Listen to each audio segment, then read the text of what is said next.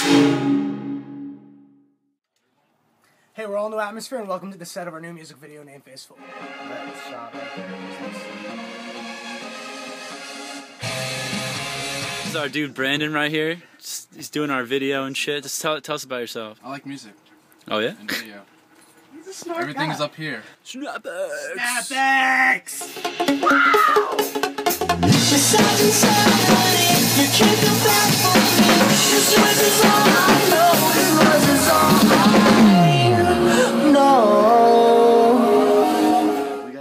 gotta get back to shooting. Don't put too many on it. It's a talented man right here. Yeah. Yeah. that. Yeah. Someone's gonna slip and die. They're gonna hit their head. Don't be so negative. Your thoughts become reality. But I'm dead. Do you want any? I'll just roast shit at. I'm so- My bad. It looks green. I don't know what to record. I'm gonna record your hands. Have fun. You're beautiful. So give me that part, yo. And right when you about to hit.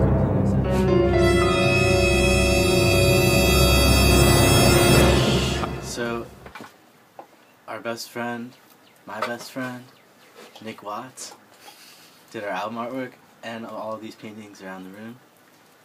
So, Nick Watts.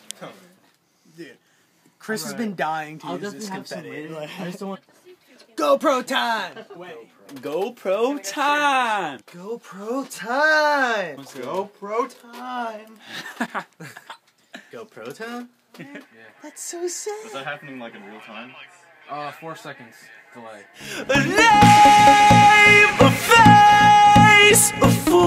Basically, one night, you know, I started programming like this beat in the song, and I finished like the first verse, and I just I, I thought it was really fucking awesome.